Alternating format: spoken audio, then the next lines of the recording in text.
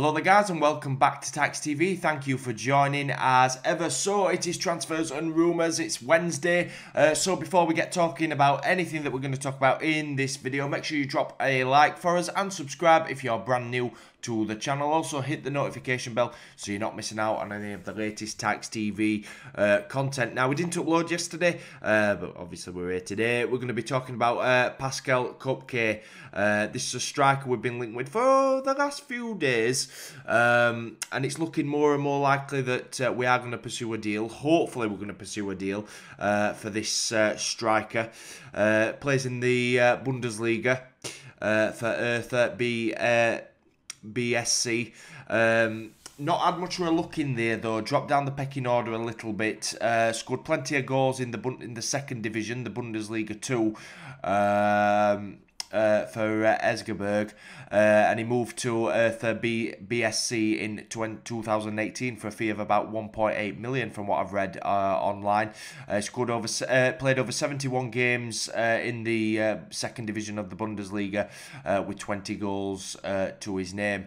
about five foot nine, so not the biggest striker, but. Um, it's not necessarily about that. You know, you look at you don't have to be a big striker. You look at Winnall, Sam, the likes of Sam Winnall wasn't a big striker. Conor Chaplin's not a big striker. They've got goals, and from what you gather, get with him, you know, it's pretty much the work rate, running his bag out, works for the team, uh, provides provides not just goals but assists all this and that. Um, whether he's going to be up to scratch, because obviously he's not played a huge amount for Hertha, so that's going to be a bit of an issue with him not playing necessarily as much over the 2019-20 uh, season. But uh, we're obviously linked with him roughly about, uh, from what I've gathered, just under a million pounds uh, for him which you know we keep saying we need to bring a striker in, and um, obviously with him coming in from overseas, we'll judge him when he gets here. Um, but uh, still, still early days. But from from reports, what I've gathered in our in our group chat and everything, and on social media, a deal may be complete by the weekend. Uh, and as we keep saying, you know, we look at our strike force. You've got Woodrow, you know, is still at the club, good. Uh, whether anything happens there regarding him, we don't know. Um, you've got Chaplin, you've got Schmidt.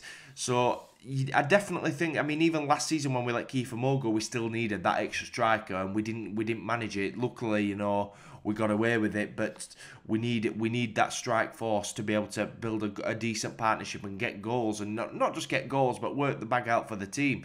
And this is what apparently this guy can do. But he can't. He can also play right foot, right wing, left wing, as well as up front on his own. So that's always good. You know, we like his versatility at Barnsley Football Club. That's always a good thing. The versati- versatility. Um, likes to play centre forward as well. Centre forward, maybe on his own, he can operate that as well. Uh, but obviously, we don't necessarily play with just uh, the one striker. But uh, I'm looking forward to seeing him. I, I, I, really am. If it if it does come come about, obviously we get linked with quite a number of players during this this time. Every club does. Uh, but obviously, if, if we can get a deal done, it'll be very very good, and hopefully bring a striker, another striker into the club that's going to help the team for next season. And that's that's ultimately what we need. Uh, so hopefully we can get that deal done in the next few days. Um, like I said, we we signed um, Frazier last uh, last week and uh, Kilian Ludewig on loan.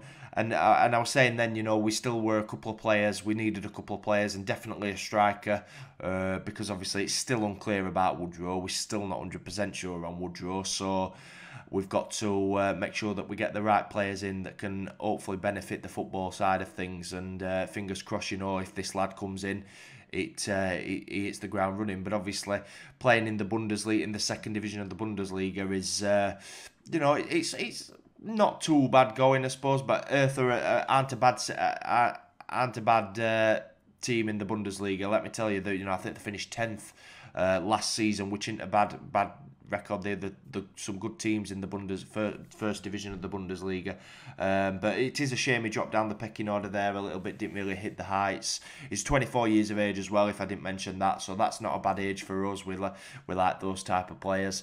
Uh, but other than that, guys, you know that's all we know on him so far. Um, I will try and let you know as soon as if anything comes about uh, regarding updates for him. Uh, but yeah, that's that's about it for him. Um, there was a few rumours escalating around Clarke Oduor. Uh, potentially Sheffield United were looking at him. I'm not sure how concrete that is, but I definitely don't think we should be selling to Sheffield United. Not not nothing against Sheffield United. I don't think we should be letting Clarke Oduor go, especially, and I forgot to mention it in Monday's video, that Ben Williams looks like he's out for the season, having picked up a, a, a ligament injury against Crewe. So Clarke Oduor for me, definitely not.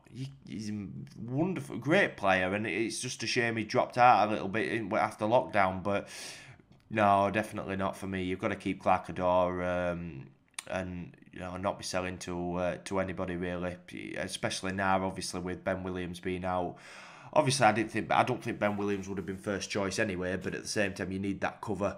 Uh, so it, definitely we will be struggling if we let Clarke Oduor go as well. But I don't think there's anything too concrete in that, you know. Um, and I, I want to see a lot more of next season. I hope that we can do. He deserves it. Uh, good player, good crosser of the ball.